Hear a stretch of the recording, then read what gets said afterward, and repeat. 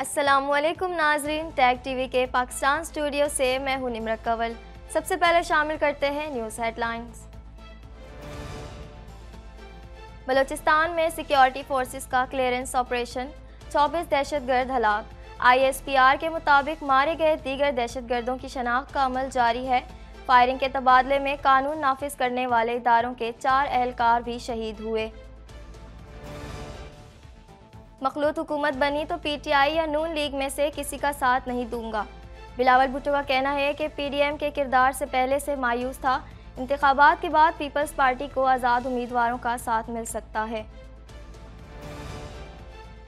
बानी पीटीआई और एहलिया ने वज़ीर अजम ऑफ़िस का गलत इस्तेमाल किया। तोशाखाना केस का तफसीली फैसला। बैरिस्टर गोहर का कहना है कि जज साहब ने फैसले में हमारे वकला से मुतालिक दुरुस्त नहीं लिखा। बुशरा बीबी का कहना है कि मुझे डील के तहत बनी गाला भेजा गया तो कैंसिल कर दें, जेल में रख लें। कराची वालों को उनके हक से महरूम किया जा रहा है।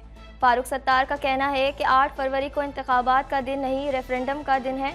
कराची से ही सखर, लाड़काना और पूरा सूबा चलता है। कराची के मुख्तलिफ़ इलाकों में सुबह सवेरे हल्की बारिश, मौसम दिल फरेब पख्तूनख्वा में जुम्मे और हफ़्ते को मूसलाधार बारिश का इम्कान नालों में तुगयानी का खदशा पी डी एम ए ने तमाम ज़िली इंतज़ामिया को अलर्ट रहने की हिदायत कर दी हेडलाइंस आपने जानी और अब खबरें तफसील के साथ Laundry is no longer a hassle. Just toss an EcoFresh detergent strip into the washer for a convenient, eco-friendly yet powerful wash. Hypoallergenic, safe for sensitive skin. Say no to bulky plastic jugs and bottles. No more measuring and spilling. Just one strip for a load. Simple and squeaky clean. Plastic free, biodegradable packaging. Organic, paraben, phosphate, dioxane, and cruelty free. Order now at www.ecofreshcanada.ca or at Amazon. क्या आप Canada की immigration और citizenship लेना चाहते हैं या Canada में study करना चाहते हैं लाइटो इमिग्रेशन न सिर्फ़ आपको कनाडा की इमिग्रेशन और सिटीजनशिप दिलवाने में आपकी मदद कर सकते हैं बल्कि आपको कनाडा में सेटल और इन्वेस्ट करने के रास्ते भी सुझा सकते हैं Lito Immigration is a regulated Canadian immigration consultant. We deal in study, work, PNP, and PR visas. Get startup visas, work permit, and business visas. We rise by lifting others. Lito Immigration. Security forces ने बलूचिस्तान के इलाकों much और कोलपुर में दहशतगर्दों के हमले पसपा करते हुए गुजशत तीन रोज़ के दौरान सर्च ऑपरेशन में 24 दहशतगर्दों को हलाक कर दिया मजीद जानेंगे इस रिपोर्ट में सिक्योरिटी फोर्सेस ने बलूचिस्तान के इलाकों मच और कोलपुर में दहशतगर्दों के हमले पसपा करते हुए गुजशत तीन रोज़ के दौरान सर्च ऑपरेशन में चौबीस दहशत गर्दों को हलाक कर दिया। पाक फौज के शोबा ताल्लुकात आमा के मुताबिक उनतीस और तीस जनवरी की रात दहशत गर्दों की जानब से बलोचिस्तान के इलाकों मच और कोलपुर कॉम्प्लेक्सेस पर हमले किए गए। कानून नाफिज करने वाले इदारों ने दहशत गर्दों के हमले बहादुरी से पसपा किए। आई एस पी आर के मुताबिक सर्च ऑपरेशन में गुजशत तीन रोज के दौरान चौबीस दहशत गर्दों को जहन्नम वसल किया गया। मारे गए दहशत गर्दों में शहजाद बलोच अताउल्ला अब्दुल वदूद जीशान और उनके मास्टर माइंड शामिल हैं। आईएसपीआर के मुताबिक मारे गए दीगर दहशत गर्दों की शनाख्त का अमल जारी है। फायरिंग के तबादले में कानून नाफिज करने वाले इदारों के चार अहलकार भी शहीद हुए, जबकि दीगर शहदा में दो शहरी भी शामिल हैं। आई एस पी आर का कहना है कि मौसर जवाबी कार्रवाई दहशत गर्दी को शिकस्त देने के अज़म का आदा करती है। पाक फौज दीगर सिक्योरिटी इदारों के साथ अमन व इसकाम के लिए शाना बशाना खड़ी है। पाकिस्तान पीपल्स पार्टी के चेयरमैन बिलावल भुट्टो जरदारी का कहना है कि मखलूत हुकूमत बनी तो पीटीआई या नून लीग में से किसी का साथ नहीं दूँगा। मजीद तफसलत इस रिपोर्ट में। पाकिस्तान पीपल्स पार्टी के चेयरमैन बिलावल भुट्टो जरदारी का कहना है कि मखलूत हुकूमत बनी तो पीटीआई या नून लीग में से किसी का साथ नहीं दूँगा। बरतानवी नशरियाती इदारे को इंटरव्यू देते हुए पीपी चेयरमैन ने कहा कि हम एक नई सोच और जज्बे के साथ मुल्क के निज़ाम को बेहतरी की जानब ले जाना चाहते हैं। ये लोग जमहूरियत और रियासत को अपनी ज़ाती अना की वजह से नुकसान पहुँचाते हैं। बिलावल भुट्टो ने यह भी कहा कि आज़ाद उम्मीदवारों की अक्सरियत पीटीआई के टिकट होल्डर नहीं है। पंजाब में ऐसे लोग हैं जो नून लीग के मुखालिफ हैं और आज़ाद हैं। बहुत से आज़ाद उम्मीदवार पहले ही पीटीआई या पीपल्स पार्टी के साथ थे। बिलावल भुट्टो ने कहा कि पाकिस्तान डेमोक्रेटिक मूवमेंट के किरदार से पहले से मायूस था। नवाज़ शरीफ के किरदार से सख्त मायूस हूँ। इसलिए आजकल हमारे फासले काफ़ी वाजे हैं। अगर नवाज़ शरीफ को पुरानी सियासत करनी है तो मैं उनका साथ नहीं दे सकता। बिलावल भुट्टो जरदारी ने मजीद कहा कि हमारा ख्याल था लेवल प्लेइंग फ़ील्ड मिलेगी, लेकिन ये हमेशा मसला रहा है। मेरी नज़र में बानी पीटीआई नवाज़ शरीफ पुरानी सियासत करना चाहते हैं। वही सियासत करना चाहते हैं जो हमने बार बार नाकाम होते देखी है। उन्होंने कहा कि इंतबात के बाद पीपल्स पार्टी को आज़ाद उम्मीदवारों का साथ मिल सकता है। पीपल्स पार्टी चारों सूबों में मुहिम चला रही है, जलसे किए हैं। हम इंतबात और जमहूरियत को बहुत संजीदगी से लेते हैं। अभी तो शुरुआत है, आगे चलकर बहुत काम करेंगे। पीपी चेयरमैन ने कहा कि बानी पीटीआई के साथ जो हो रहा है, वो मकाफात अमल है। पाकिस्तान में रहने वालों को पता होना चाहिए कि इदारों पर हमले रियासत बर्दाश्त नहीं करेगी।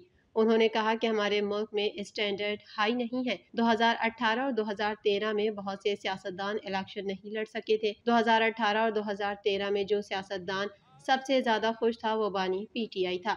अगर आज वो आउट हैं तो उन्हें अपनी सियासी फैसलों को भी देखना चाहिए। बिलावल भुट्टो ने यह भी कहा कि उन्होंने असम्बलियों से निकलने का फैसला किया। उन्होंने इदारों पर गैर जमहूरी अंदाज में हमले किए। उन्हें मालूम होना चाहिए था कि इस किस्म के तशद को पाकिस्तान की रियासत बर्दाश्त नहीं करेगी। एहतसाब, अदालत, इस्लामाबाद ने बानी पाकिस्तान तहरीक इंसाफ और उनकी अहलिया बुशरा बीबी के खिलाफ तोशाखाना केस का तहरीरी फैसला जारी कर दिया। मजीद अहवाल इस रिपोर्ट में। अदालत इस्लामाबाद ने बानी पाकिस्तान तहरीक इंसाफ और उनकी अहलिया बुशरा बीबी के खिलाफ तोशाखाना केस का तहरीरी फैसला जारी कर दिया। पाकिस्तान तहरीक इंसाफ के रहनुमा बैरिस्टर गौहर का कहना है कि जज साहब ने फैसले में हमारे वकला से मुतालिक दुरुस्त नहीं लिखा। हमारे वकला हर वक्त मौजूद होते हैं और हर तारीख पर पेश होते हैं। अडियाला जेल के बाहर सहाफ़ियों से गुफ्तु करते हुए बैरिस्टर गौहर ने कहा कि हमें मौका नहीं दिया जा रहा। जो बुकला दिए गए उनके पास कुछ नहीं था। फैसले में लिखा गया है कि इस्तगासा अपना केस साबित करने में कामयाब रही। बानी, पीटीआई और बुशरा बीबी ने वज़ीर आज़म ऑफ़िस का गलत इस्तेमाल करते हुए एक अरब सत्तावन करोड़ तैंतीस लाख बीस हज़ार रुपए का माली फ़ायदा हासिल किया। तफसीली फैसले के मुताबिक बानी, पीटीआई और बुशरा बीबी को गैर मुल्की सरबराहान से 108 तहाइफ मिले। सऊदी वली अहद से बानी, पीटीआई की अहलिया ने ग्राफ का ज्वेलरी सेट बतौर तोहफा वसूल किया। जो तोशा खाना में रिपोर्ट तो हुआ, ताहम जमा नहीं करवाया गया। फैसले में मजीद कहा गया है की तोहफे की कीमत का तयन करने वाले प्राइवेट माहिर पर बुशा बीबी ने असर रसूख इस्तेमाल किया और सेट नबे लाख रुपए में हासिल किया, जबकि ग्राफ ज्वेलरी की असल कीमत तीन अरब सोलह करोड़ रुपए से जायद थी।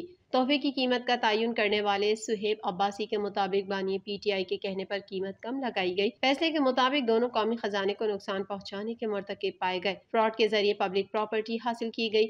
सेट की मालियत प्राइवेट लगवाए गए तखमीने से कहीं ज़्यादा थी। फैसले में बानी पीटीआई बुशा बीबी को चौदह साल कैद की सजा सुनाते हुए कहा गया कि जेल में गुजारा हुआ वक्त सजा में शामिल तस्वुर किया जाएगा। दूसरी जानब सबक वज़ीर अजम और बानी पीटीआई की अहलिया बुशा बीबी का कहना है की अगर मुझे डील के तहत बनी गाला भेजा गया है तो कैंसिल कर दें, जेल में रख लें। बुशा बीबी ने गुजशत रोज कमरा अदालत में पहली बार सहाफियों से बातचीत के दौरान कहा कि मैं खुद गिरफ्तारी के लिए जेल आई।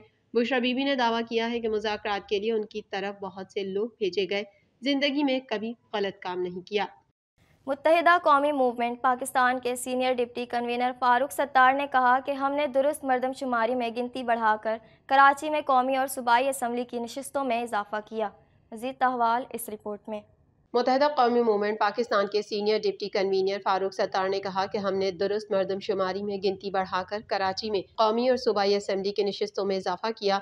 कराची वालों को उनके हक से महरूम किया जा रहा है। कराची में प्रेस कॉन्फ्रेंस से खिताब करते हुए फारूक सत्तार का कहना था कि कराची चलता है तो मुल्क पलता है। कराची से ही सखर, लाड़काना और पूरा सूबा चलता है। उन्होंने कहा कि जिस शाख पर बैठकर लोग तिजोरियाँ भर रहे हैं कहता हूँ, उस शाख को नहीं काटा जाए। फारूक सत्तार ने कहा, आठ फरवरी को इंतबात का दिन नहीं, रेफरेंडम का दिन है। पी एस एक सौ दस से आज़ाद उम्मीदवार अमजद गुज्जर और उनकी टीम मौजूद है। उन्होंने कहा कि आज़ाद उम्मीदवार Amjad Gujjar M Q M के हक में दस्तबरदार हो रहे हैं। पी एस एक सौ दस से Shariq Naseem M Q M के उम्मीदवार हैं। सुबह पख्तूनख्वा के कई इलाकों में जुम्मे और हफ़्ते को मूसलाधार बारिश के इम्कान की वजह से नदी नालों में तुगयानी का खदशा है। मजीद जानेंगे इस रिपोर्ट में। कराची के मुख्तलिफ़ इलाकों में सुबह सवेरे हल्की बारिश के बाद सर्दी की शिद्दत में मामूली इजाफा होने के साथ ही मौसम दिल फरेब भी हो गया। महकमा मौसमियात का कहना है कि शहर में आज हल्की बारिश और बूंदाबांदी मुतव है। बारिशों का सिलसिला चार फरवरी तक जारी रहेगा। शहर कैद के मुख्तलिफ़ इलाकों आई आई Chandigarh road, Shahra Faisal, Saddar, old city area, M A Jinnah road, Malir, Clifton, Korangi, Landhi और सुरजानी में बादल बरसे। अलावा अजी गुलिस्तान जौहर गुलशन इकबाल तारिक रोड, बलोच कॉलोनी समेत दीगर इलाकों में भी कहीं हल्की और कहीं तेज़ बारिश हुई। दूसरी जानब आज़ाद कश्मीर में बारिश और बर्फबारी से सर्दी की शिद्दत भी बढ़ गई। अक्सर इलाकों में दर्जा हरारत नुकता अंजुमा से नीचे गिर गया। सूबह पख्तूनख्वा के कई इलाकों में जुमे और हफ़्ते को मूसलाधार बारिश के इम्कान की वजह से नदी नालों में तुगयानी का खदशा है। अलावा अजीबाला इलाकों में पहाड़ों पर बर्फबारी का इम्कान और लैंड स्लाइडिंग और रबता सड़कें बंद होने के खदशे के पेश नज़र सयाहों को मोहतात रहने की हिदायत जारी की गई हैं। इस हवाले से पी डी एम ए ने तमाम जिला इंतजामिया को अलर्ट रहने की हिदायत कर दी है। महकमे मौसमियात के मुताबिक सूबे के बेशतर अजला में मौसम सर्द और बालाई, अजला में शदीद सर्दी के साथ मतला अबर आलूद रहेगा। दो और तीन फरवरी को मूसलाधार बारिशों के बायस मकामी नदी नालों में तुगयानी का खदशा है। पेश गोई में बताया गया है कि चित्राल, दीर, सवात, कोहिस्तान, शांगला, मालाकंड, एबटाबाद, बालाकोट डियाई खान, बन्नू, कुर्रम वजीरिस्तान टांग खैबर, बाजोड़ और मानसहरा में तेज हवाओं और गरज चमक के साथ बारिश का इम्कान है। महकमा मौसमियात के मुताबिक सबसे ज़्यादा बारिश बालाकोट, उन्नीस, काकोल, सोलह, चराट, बारह, दीर, बालाई और जेरी, दस और चार पटन आठ मालम जब्बा कालाम चार, मीरखानी तीन, सैदो शरीफ, दरोश, चतराल में दो मिलीमीटर बारिश रिकॉर्ड हुई। मरी चार, कालाम अस्तूर तीन, मालम जब्बा दो और चतराल में एक इंच बर्फबारी रिकॉर्ड हुई। लाहौर, इस्लामाबाद और पेशावर में मौसम सर्द और मतलब जज्वी अबर आलूद रहेगा, जबकि कश्मीर और गिलगित बल्तिस्तान में बारिश और पहाड़ों पर बर्फबारी मुतव है। मजीद खबरें भी बुलेटिन का हिस्सा होंगी, मगर इस ब्रेक के बाद।